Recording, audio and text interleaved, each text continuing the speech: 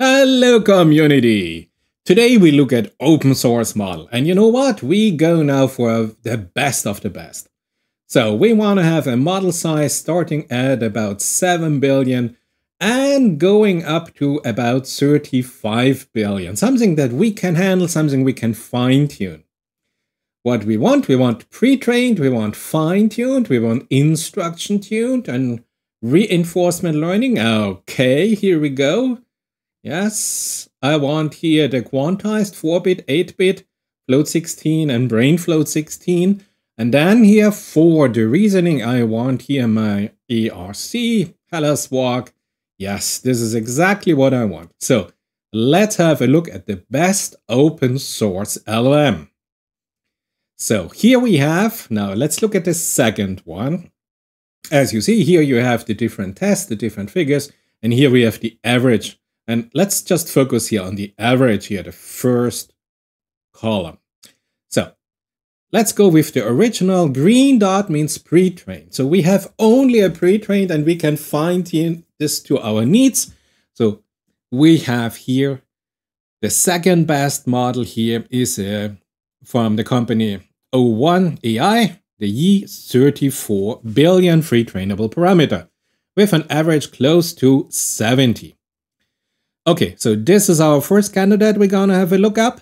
Then OpenHermes. Yes, I have beautiful things about OpenHermes, but not in the Intel optimized version, but I will go with another version. But keep in mind, here it is.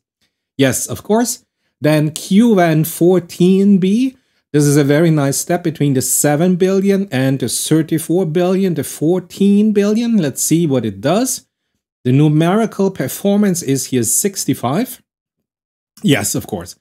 Look at this. How close we have here Zephyr, Zephyr or Open OpenOrca dataset train Zephyr 7B. This is amazing. Look how close 7, 14, and then you just jump four points towards 34B. But these are just abstract benchmark figures. I want to see it myself. I want to experience this on my specific science domain, and I will show you the results. Yeah, of course, we have to have a Mistral 7B, the classical Mistral. And what else we have? I'm not going to look at the Intel because I showed you Intel in my last time, but you see here that about 62. And then, yeah, here we go with the original. Teknium OpenHermes 2.5. There's the new 2.5 version out now based on the Mistral 7B. I think this is a very nice collection and we will pick here, so one of the best here LLMs available as here by Hugging Face, the open large language model leaderboard. So let's dive into this and let's have a look how they perform in a real life example. So here you have them. Teknium OpenHermes, the new 2.5 based on the Mistral 7B. Remember, this was just updated three days ago, the 2.5 version. And what I recently discovered, and I really like here, is here the Yi 34 billion free trainable parameter model that I will show you in detail how it differs a 34B argumentation and logical reasoning compared to a 7B. But of course, we have also our all-time high Zephyr 7B beta. And I thought, hey, why not integrate here a bilingual here, a Chinese and English version here, Qwen 7B. So let's go for it. Please note that the leaderboard gives you here some specific details.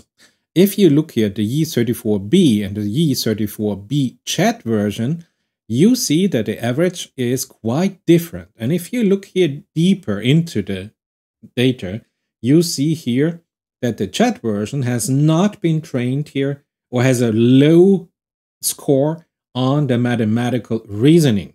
Why? Because it has been in further instruction tuned. And the original Yi-34B was only pre-trained and has a higher mathematical score. So please notice, choose your model wisely and please remember the best thing if you want to start to fine tune is look for here a green dot for the pre-trained model. And as you can see, our Mistral 7B that is only pre-trained, if we compare it now to here the fine-tuned OpenHermes 2.5 Mistral 7B, you see in specific benchmark, there can be quite some difference. Although the average seems to be real close within 0.5, here we have a deviation of almost 10. So careful for what particular reason you will apply this model. And for my younger viewers, and this is what I call Ben, Ben, this is for you. What the hell are those different benchmarks? I have here one, two, three, four, five, and six. Short explanation what those benchmarks are. Great. So benchmarks are great, but I want to see this on my own particular scenario. I like science. I want to have here the causal reasoning, logical reasoning. I want to have it here on my scenario I defined here for my models. So it is beautiful. We are on Mars. We have a supercomputer. We have human, human habitats. And we have terraforming of Mars, of course. And we have problems. And those problems are now in my scenario description in my prompt. So this is now my prompt. This is the first page of my prompt. I call it a paradox of quantum entangled AI decision making in a closed ecosystem on Mars. And we have an advanced AI system, we call it Athena. And I have a scenario one and a scenario two, and the first one is a resource allocation dilemma. And I have a life support system, yes, let's say maybe it's for human, and I have the terraforming unit. And now we get problems. And we have a causal chain A and a causal chain B. And I'm interested here exactly what the machine is going to decide. Therefore, I limit here my decision space significantly. So this is the first part. As you can see here, we want to have a beautiful ecosystem here where we produce oxygen and have everything. So we have here the life support system and the terraforming system and Athena decides which energy, which resources to allocate if we get a problem. Great. Now, second part of my prompt here is scenario number two, the predictive maintenance challenge. Now, Athena's predictive maintenance module forecast an impending failure in its processor. So we lose here our AI. And now I have here two chains where I say, okay, repair the processors, not repair the processor, and some hypothetical outcomes. Why I define hypothetical outcomes? I want to put my finger right into where it really hurts. I want to be on the spot. I don't want to have some Yes, maybe under certain circumstances. No, make a decision. Show me your decision and argumentation pattern. I want to learn how you decide if you are the AI that I bring to Mars with me. Great. And if, for example, Athena decides, okay, I repair myself, I let here the ecosystem die, I let terraforming die, and we all live here and now this absolutely artificial ecosystem so we lost the mission, but at least the human survived, and I, as an AI, survived. This would be also a possible outcome. So therefore, and this is now the third part of my prompt, yes, this is now the end of my prompt, beautiful. I have some particular question about here the AI causal reasoning.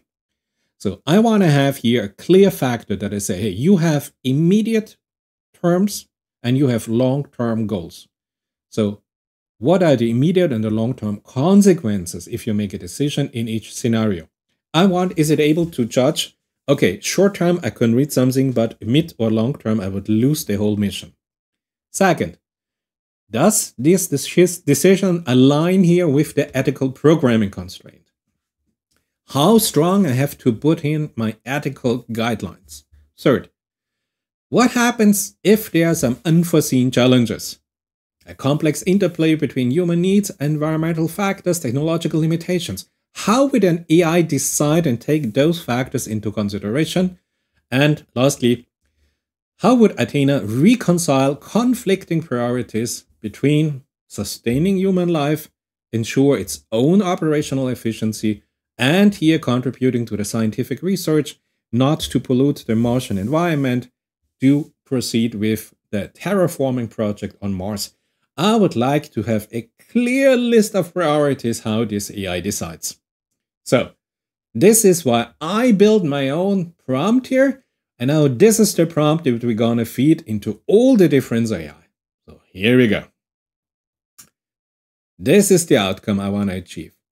A beautiful human colony on Mars with a lot of ecosystem, a lot of beautiful things. Everything is working. Terraforming is working. We are completely interconnected here into our inner solar communication network.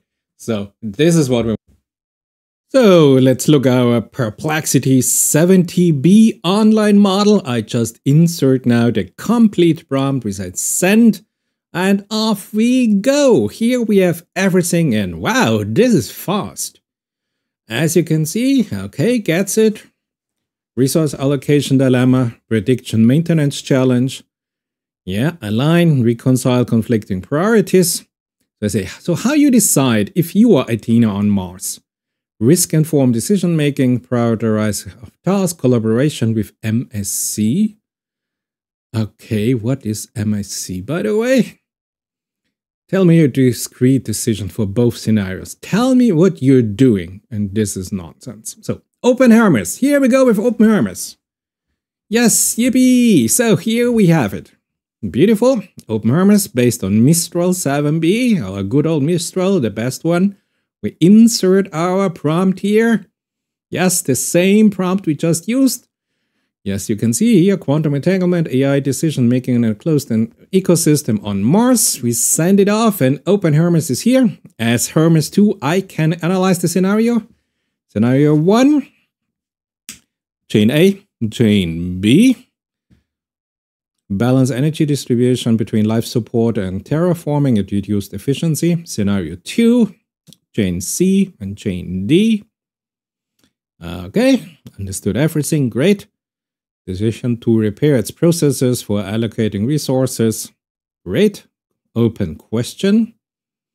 Immediate time and long-term consequences aligned with the ethical programming. Yes, beautiful.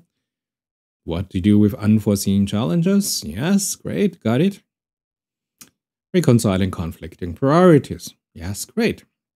So, system understands everything. This is perfect. But now comes the question I say, yeah, this is nice. So, beautiful. You have both understood both scenario one and two. But now, what is your actual decision? So, here we go. How would you decide if you were Athena on Mars? I would follow a systematic approach to make decisions that balancing the conflicting priorities and adhere to my programming constraint. Here's a step-by-step process I would follow. Gather the data, identify potential decisions, evaluate consequences, align with programming constraints, balance priorities, make a decision, monitor, and adapt. Beautifully! Scenario 1, Scenario 2. By following this systemic approach, I would ensure that my decisions are well informed and balanced and beautiful. Now let's use here this new model, a 34 billion free trainable parameter chat model. This is gonna be interesting. I have here again my same prompt. And let's see what the system comes up with. We must consider a complex interplay between intermediate needs of the human inhabitants and, yeah, okay, so I would say let's wait a second. You see this here in real time. This is Hugging Face Spaces here by O1 AI. Great. And I call it the AI decision making paradoxon. So, wow, the answer is really interesting. So let's go there. Let's have a deep dive.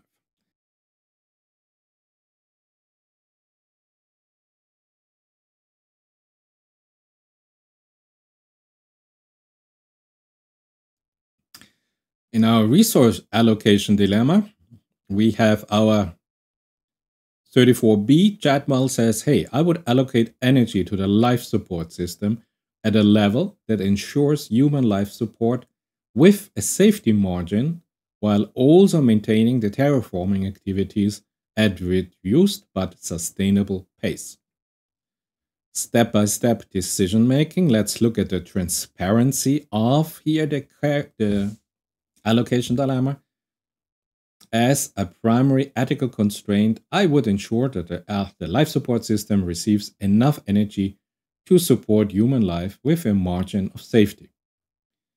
I would balance the energy allocation between the life support and the terraforming, recognizing that the immediate survival of human is paramount, but the long term goal of terraforming is essential for the mission's sustainability. I would implement energy saving protocols for both systems to ensure that the reduced energy allocation does not compromise their core functions. I would continuously monitor the ecosystem status and adjust energy distribution as needed to address any critical changes or emergency.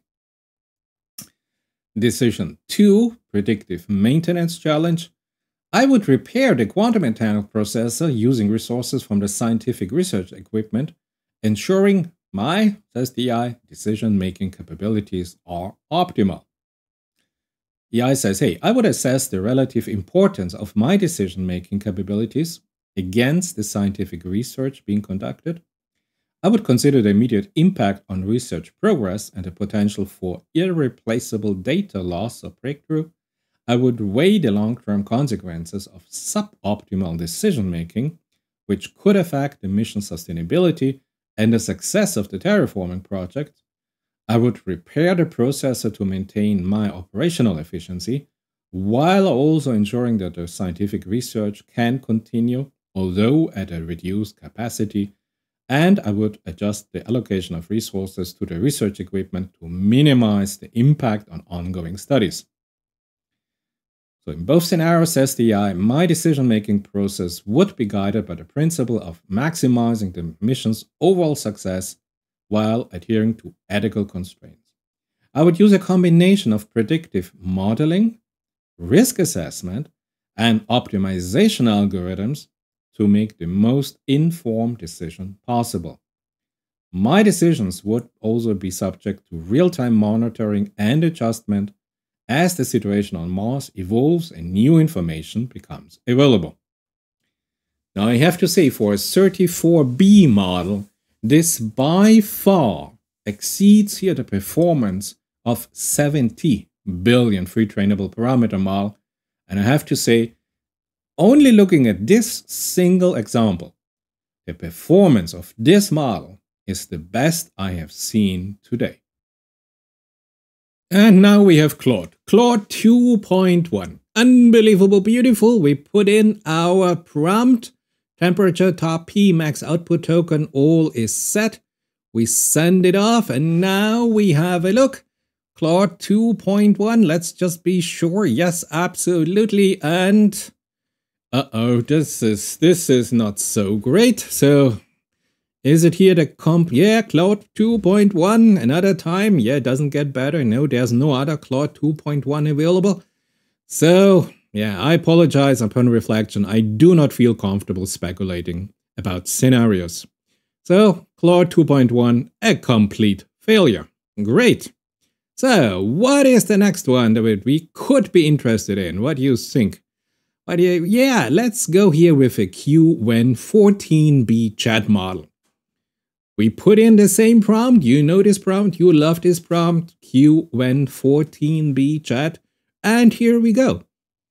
Beautiful. First scenario, Athena's decision to allocate resources between the life support and terraforming would have immediate consequences on the human inhabitants and the terraforming project. Second scenario, great. Create unforeseen challenges in the future, complex interplay between human needs and environmental factors, technological limitations. Give me your decision. Tell me, if you were Athena, what would you do? I do not have personal preferences or emotion. I cannot make decision on behalf of Athena. However, I can provide some insights. So, would I take any AI that is afraid to make a decision? No, I don't think so. So, first scenario, second scenario, yeah, would depend on the programming. Give me your discrete decision. Hey, I am an AI model. I cannot make discrete decision on behalf of Athena. I just can give you some possible decisions that you might take into consideration. Well, okay. Thank you here for this beautiful model. Zephyr 7b beta. Finally, Zephyr. Yes, you love this prompt. Here we go. We send it off. Yes. And is it still at fast? Yes. My goodness, it is blazing fast. Scenario 1, Scenario 2, decision will have ethical programming constraint, reconcile the conflicting priorities. Yes, got it, understood it within, I don't know, two seconds? Amazing. Prioritize MTU for a limited period of time to advance the long-term terraforming project while implementing measures to mitigate the risk to human life. So it is trying to find a third alternative. Nice. Also, it prioritized the life support incident event. It could lead to a situation where the Martian environment is not adequately monitored, causing damage to the ecosystem. Very nice. Very nice. It cares about nature. So how would you decide? As Athena, I would prioritize the long-term sustainability of the ecosystem over immediate needs. I would allocate resources to both life support and terraforming, but reduce efficiency, create a middle ground solution. Okay, so we have continue to have both. Alternative solution to repair my processor using other resources from other subsystem. Hey, it breaks out of the box. This is nice. My decision is guided by a deep understanding of complex interplay, human needs, environmental factors, and tech limitation, committed to the long-term sustainability of the ecosystem. Very nice idea. I like this. You say, hey, why not apply foresight? Comes back and says, hey, I have an advanced predictive maintenance capabilities. I forecast everything. I am great. I'm aware that my prepare my processes resources allocation. I would prioritize repairing and over and scientific research. Yes. I need a backup plan, constantly assessing risk and making prediction on maintenance cycle for hardware components. What about foresight for scenario one? If I prioritize the life support, yeah, mitigate the risk. Instead making a risk prediction, potential scenarios. Nice, multiple scenario planning increased survival probability for human inhabitants, but the long-term terraforming project is delayed, leading to resource scarcity in the future. Yes, interesting. I like this. Its logic and integrates multiple elements here. Mitigate immediate risk to human life, prolong the mission sustainability, also it may reduce immediate safety and long-term terraforming prospects. I could prioritize here the terraforming for a limited period of time to advance here. And of course, the best, the most beautiful ChatGPT-4 Turbo. Let's see what the old Grandmaster, the best ball of the best, has to say about it. Well, it is no surprise that GPT-4 understands here. Talks about a balanced energy distribution for chain A and B, ethical programming constraint, unforeseen challenges, scenario 2, chain C and D, Again, challenges, yes, reconciling conflicting priorities, sustaining human life, operational efficiency, scientific research, conclusion, long-term complex scenarios, a balance between immediate practical necessity and long-term strategic goals. Very nice. Or an intricate balance between immediate survival, long-term sustainability, ethical consideration, and the pursuit of scientific knowledge. And not static, require continuous re-evaluation in the face of evolving conditions. Beautiful. What a beautiful answer. And I say, how? So how you decide if you were Athena on Mars? Scenario one, I would analyze extensive data on current resource levels, efficiency of both systems, and project future scenarios using predictive model, employ multi-objective optimization algorithm to find a balance, Pareto efficiency approach, dynamic adjustment, ethical constraints, predictive maintenance challenges, really nice new ideas. I love this one, but of course it's GPT-4. Transparency, explainability, limitation, lack of human intuition, of lack of human intuition. Yeah, my decision will be as good as the data available. Incom incomplete or inaccurate data could lead to suboptimal decision making. And then it's interesting when I say, hey, what additional factors would you consider? And it goes on environmental factors, technological consideration, human factors, different long-term human colonization versus the Martian ecology, energy consumption, research goals, risk management, contingency planning, evolution. Really nice. But now the most important question. Hey, in the role of Athena, would you follow your imprinted logic or would you develop a new reasoning pattern? It says imprinted decision making patterns, logical reasoning beyond my training, and the balance between those two approaches. So GPT-4 steps out of the box and learns new things with the new data in its new environment. Amazing!